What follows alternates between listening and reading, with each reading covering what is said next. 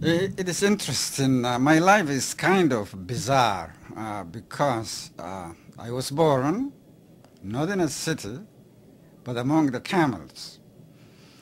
Uh, to this day, nobody knows for sure the year in which I was born because I was among the camels and camels do not keep records. I, I, I came,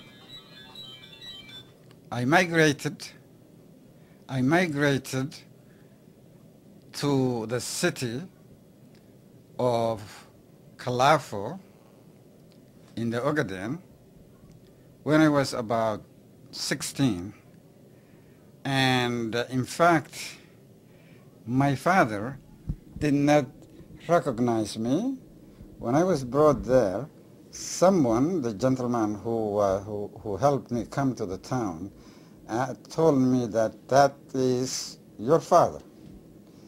And when I said, um, went over to him and said, Father, he thought that I have some kind, because he was the Islamic magistrate of the town of Kalafo, mm -hmm he thought that I had a legal case, a legal complaint. And then I told him that you are my father. And he said, what is your name? I told him my name. Uh, which of the wives is your mother? Again, I told him again.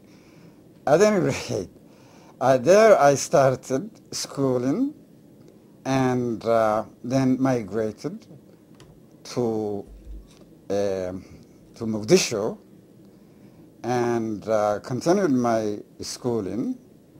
And then, in fact, I ended up becoming a principal of, a, of an adult school where I came, I became a close friend of a gentleman called Ahmed Aato, a brilliant Somali who spoke English, Italian, and Somali with equal ease. I came to the States in 1971 having received a private scholarship which paid my tuition and I saved enough money to buy, purchase my ticket then I got my BA in 1973, went on to receive my MA and PhD from Northwestern University just outside of Chicago. And uh, during that time, by this time I was married, so I had to support my kids. And I learned welding, of all things, where I had goggles over my face so that the camel boy became a welder.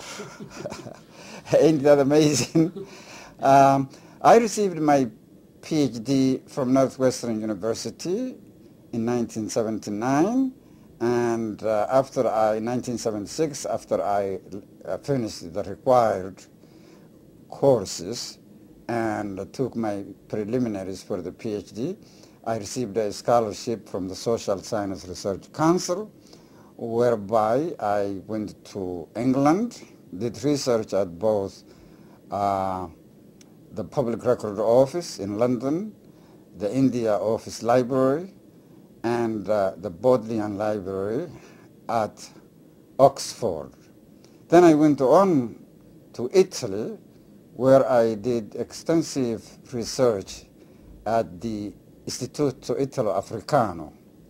And then I, in 19, early 1977, I went to do a field work in Somalia where I tried to collect the poems, the literary and historical, as well as the nationalistic career of our great hero, the Sayyid Muhammad Abdullah Hassan.